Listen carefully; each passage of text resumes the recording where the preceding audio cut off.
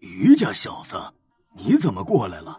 我想来找陈家谈一谈我最近的项目，不过看起来我好像来的不是时候啊。哎呀，下次再谈吧。于千凡也不纠缠，反正他本来就不是来谈项目的，他只是来验收成果罢了。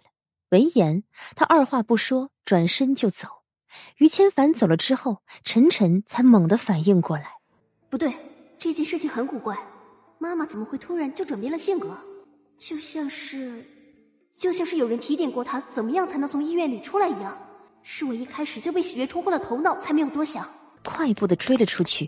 追了一段路之后，他停了下来，因为在路的尽头，于千凡正站在那里等着他，仿佛是已经知道他会像个疯子一样的冲出来。是你对不对？一定是你搞的鬼。因为我发现用说的你好像已经听不进去了。所以呢，我打算让你切身痛一次，这是我给你的一次警告。晨晨，别来触碰我的底线，不然我会让你痛不欲生的。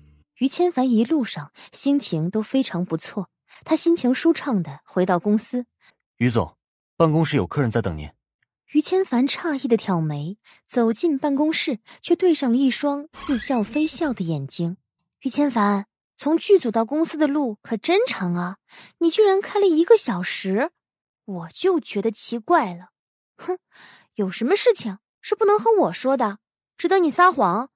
你怎么知道我不是回公司来的？女人的第六感。说，你刚才去哪儿了？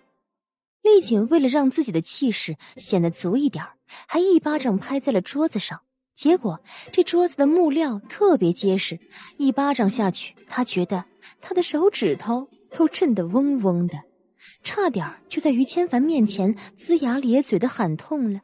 去办了一点事情，于千凡无奈的要走过去抱他，站住！谁让你过来了？就站那儿。真可爱啊！什么事情？老实交代。你是不是外面有狗了？我就小栗子一条狗。于千帆同志，请正面回答我的问题。